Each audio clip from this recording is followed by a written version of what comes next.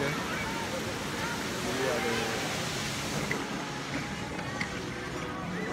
So y'all already know where we are this time.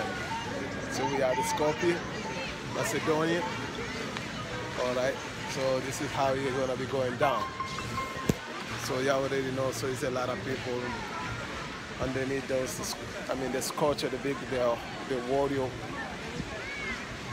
the top of the walls. So this is the main attraction of the Skopje. So, as you can see, so we're gonna try to go around actually. Try.